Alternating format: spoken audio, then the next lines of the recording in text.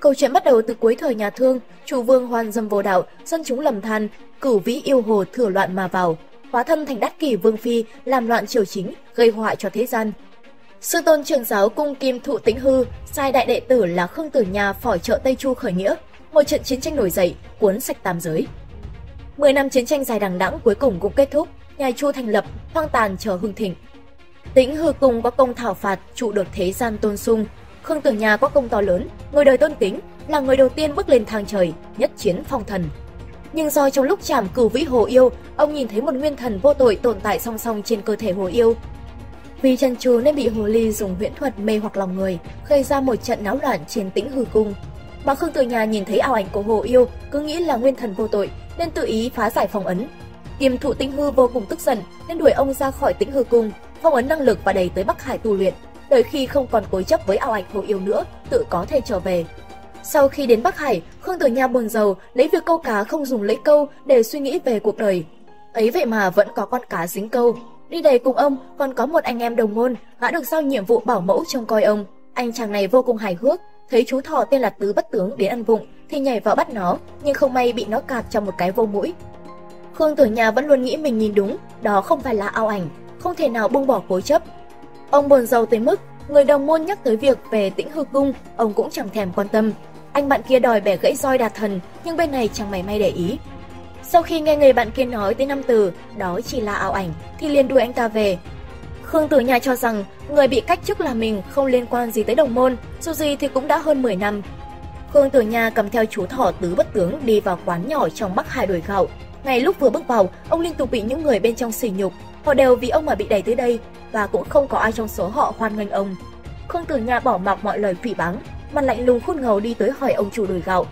Không lâu sau, trong lúc cả quán đang yên tĩnh, bỗng nhiên một cô bé đội nón đỏ đi vào. Một lão đại trong nhóm dùng hình xăm dọa nạt, tưởng cô bé sẽ hoảng sợ, nhưng không, cô lập tức rút dao ra chém một nhát ngay hình xăm đó. Bên này, Khương Tử Nha nhận ra cô bé rất giống với nguyên thần vô tuổi mà mình đã gặp trong cơ thể yêu hồ. Thì ra cô nàng đang đi tìm nơi có bầy hoa màu đen, nơi đó là Udo Sơn. Chủ vương làm thần nhân duyên tại đó, nhưng mấy năm nay nơi đó đều kỳ quái, mọc đầy hắc hoa, hồ yêu hoành hành. Cô bé cấp tấm bản đồ từ chủ quán. Chủ quán sai đệ tử bắt cô, dẫn tới cả quán náo loạn, tấm bản đồ bị con thỏ tứ bất tướng nuốt vào bụng. Và trong lúc chạy trốn, một tên không rõ ném ra một cây rìu làm chiếc nón của cô bé rơi xuống. Thì ra cô bé dùng cái nón để che đi đôi tai hồ yêu của mình. Nhận ra người trước mặt này là hồ yêu, tất cả mọi người đều đồng loạt đuổi bắt. Lúc náo loạn, cô ôm con thỏ rồi bỏ chạy. Khương Tử Nha đuổi theo, đuổi tới ranh giới Bắc Hải thì mất dấu. Đồng môn không cho ông ra khỏi ranh giới vì bước qua đó là phản bội tịnh hư cung. Mất vài giây để suy nghĩ, Khương Tử Nha quyết tâm phải tìm hiểu sự thật bằng mọi giá. Chỉ cần làm rõ năm đó đã nhìn thấy gì, ta mới có thể trở về tịnh hư cung. Nói rồi, ông bước đi ra khỏi ranh giới Bắc Hải đuổi theo tới cùng. Trong đêm tối có một bóng đen vẫn luôn lấp ló rình rập chạy theo, cô bé phang ra con dao định bắt thỏ tứ bất tướng để lấy bản đồ, nhưng Khương Tử Nhà quả là gừng càng ra càng cay, ông đã nhanh hơn một bước, ông dùng roi đả thần áp sát cô bé vào một gốc cây. Ông tra hỏi, rốt cuộc thì ngươi và cửu vĩ có quan hệ thế nào? Cô bé vẫn chối và dùng khổ nhục kế nhằm thoát khỏi trói buộc, hai người rụt đuổi nhau như phim Hollywood. Lúc này cửu vĩ xuất hiện vồ lấy cô bé, Khương Tử Nha đuổi cửu vĩ hồ rời đi, cô bé bị hất nằm ra đất.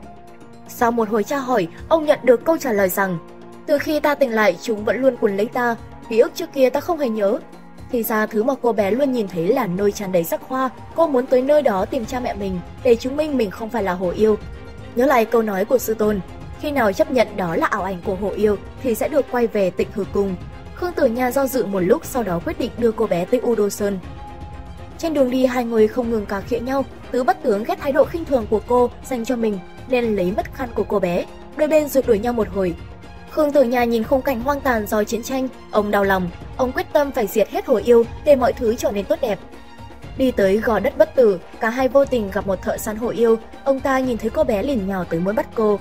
Mặc cho bản thân đang trong tình trạng yếu ớt, Khương Tử Nha muốn giúp đỡ chữa trị nhưng tạp niệm ông quá lớn, tự mình hại mình, xác ông ta tự hóa về cho bụi. Cô bé vô cùng tức giận vì đám thợ săn hồ yêu luôn muốn giết mình. Lúc mình bị cắt tay không ai tư cứu, cô định lạm sát người vô tội. Rất may Khương Tử nhà đã ngăn lại được, nhưng cô bé thành công trở mất bản đồ. Cô bé đi đến một vùng đất mới vô tình làm thức tỉnh con quái vật và các oán hồn, may mà Khương Tử nhà tới ứng cứu kịp thời. Ông và con quái vật đại chiến mấy trăm hiệp, hết leo qua vách núi này lại nhảy sang vách núi kia. cô bé ứng cứu cho Khương Tử nhà vô tình làm rơi mất bản đồ. Trong lúc đánh nhau, ông phát hiện ra quái vật bị tiếng chuông gió kìm hãm thú tính sẽ tự bỏ đi. Cả hai tiếp tục cuộc hành trình đi Udo Sơn khi không có bản đồ. Cô bé đêm ngủ luôn nằm mơ thì ác mộng mình bị đuổi giết. Tới đây thì cô dần mở lòng hơn, cô tâm sự cho ông nghe về hoàn cảnh của mình. Cả hai người đi theo hướng bản đồ chỉ, dù đánh mất bản đồ nhưng rất may trí nhớ của Khương Tử Nha tốt nên đã ghi nhớ toàn bộ. Hai người cuối cùng cũng đến được nơi có hắc hoa, một luồng sắt màu vàng lao từ trên trời xuống chỗ cả hai. Tưởng ai thì ra là chú báo đồng môn vì lo lắng nên đã đi theo trông chừng họ. Ông nhất quyết phải làm rõ sự thật. Năm đó ta thấy rõ nguyên thần của cô bé trong cửu vĩ hồ, ta phải làm rõ xem cô bé là ai. Thần công báo vì quá lo lắng nên đã dùng pháp thuật bắt cô bé lộ diện nguyên hình. Tứ bất tướng xông tới cản lại nhưng bị đánh bay đi. Không khuyên được nên gã muốn tát cho Khương Tử Nha vài cái bạt tay cho tỉnh, nhưng Khương Tử Nha bên này cũng không phải là quả hồng mềm, hai người giao thủ một hồi. Cô bé vô tình bị dây chói cuốn lấy, rơi vào tay chủ vương. Chủ vương nhìn chiếc vòng chân liền biết đó là túc mệnh hỏa, khóa hai nguyên thần với nhau, sống cùng sống, chết cùng chết. Chủ vương biết nguyên thần của cô bé liên kết với đắc kỷ, ái phi của hắn. Hắn muốn dùng khóa hiện hình để tìm được ái phi của mình. Lúc này trong người cô xuất hiện huyễn thuật của cửu vĩ hồ. Khương Tử Nha nghĩ rằng mình đã bị lừa tính kết liễu cô. Vậy nhưng cô được một luồng khí bắt đi. Thế vậy Khương Tử Nha và thân công báo đuổi theo tới U Đô Sơn, cả hai gặp lại cửu vĩ, thì ra cửu vĩ vẫn chưa bị thánh khí chém chết.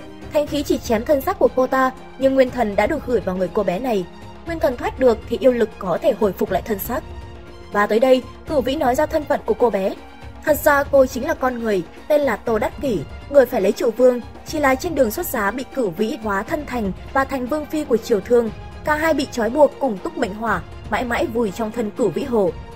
Cửu Vĩ muốn bắt lại nguyên thần đã trốn của Đắc Kỷ, nhưng hai anh em Khương Tử Nha đều xông cứu người, đôi bên đánh nhau như phim bom tấn. Trong lúc nguy cấp, Khương Tử Nha định dùng roi đà thần cắt đứt khóa cứu Đắc Kỷ, nhưng lại không cắt được. Tới đây thì ông nhận ra khóa này chính là do sư tôn của mình tạo ra. Vì do thực lực đã bị giảm sút nên cả hai đều không phải là đối thủ của Hồ Yêu.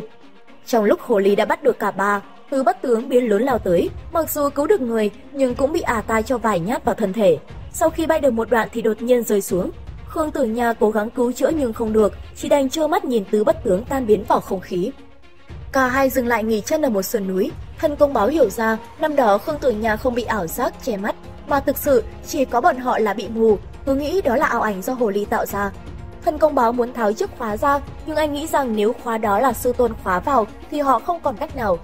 Khương Tử Nha đành đi gặp sư tôn để hỏi cho ra nhẽ, Thần công báo đành hy sinh con đường tu hành, lấy viên chân châu vàng đưa Khương Tử Nha về gặp sư tôn. Khương Tử Nha về tới Tịnh Hư cung, chất vấn sư tôn nhưng bị vài đạo sấm sét đánh xuống.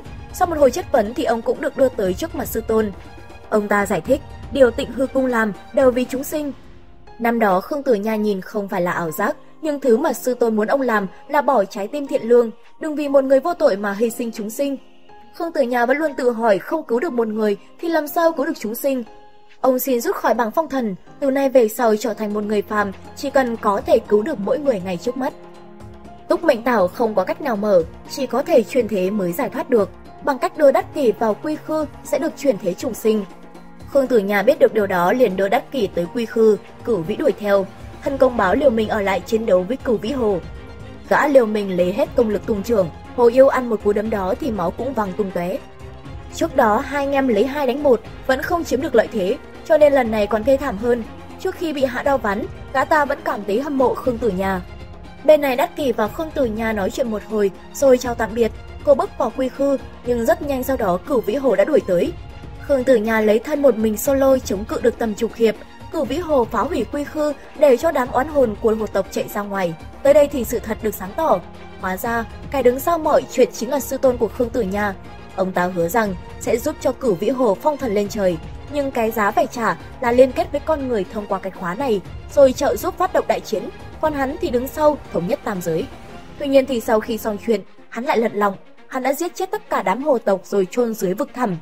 Như vậy thì không chỉ con người mà hồ tộc cũng là vật hy sinh năm đó. Sau khi nói xong thì cử vĩ bắt đầu biến lớn, đám hồ tộc tập trung thành một lốc xoáy khổng lồ hướng lên khiêu khích. Đối mặt với khí thế mạnh mẽ này, phía trên trời cũng đáp trả bằng một đòn công kích siêu to khổng lồ giáng xuống. Khương Tử Nha nhảy vào vòng tròn định cứu người ra nhưng không thể mở được khóa, ông bị kéo lại phía sau. Ngay khi tuyệt vọng thì ông chợt ngộ ra chân ý và thế là Khương Tử Nha bắt đầu biến hình, thực lực bùng phát. cũng không rõ là thực lực mạnh tới mức nào nữa. Ông lao lên cứu người nhưng vẫn chậm một tích tắc, đôi bên vai chạm, đám hộ yêu bị tung kích đẩy lùi về sau. tung kích từ trên trời giáng xuống đâm thẳng xuống đất tạo thành vụ nổ. Sau vụ này, Khương Tử Nha được triệu về ban thưởng, ông từ từ đứng dậy và bước lên thang trời. Đối mặt với sư tôn cùng rất nhiều vị trưởng lão quyền cao chức trọng, Khương Tử Nha mạnh mẽ phá nát thang trời. Ông muốn vì chúng sinh chấm dứt kiếp nạn này, chấm dứt huyền điều sáng thế dẫn độ oán hồn. Chúng sinh bình an, không còn bất công, một người phải hy sinh vì chúng sinh thiên hạ. Bộ phim hoạt hình 3D này từng làm mưa làm gió một thời, mỗi người đều có quyền được sống, thần tiên luôn vì chúng sinh thiên hạ hy sinh một người nào đó, nhưng có ai đã từng hiểu cho cảm giác của người phải hy sinh? Đám đông chưa chắc đã đủ, hãy cứ sống và làm theo cách riêng của mình.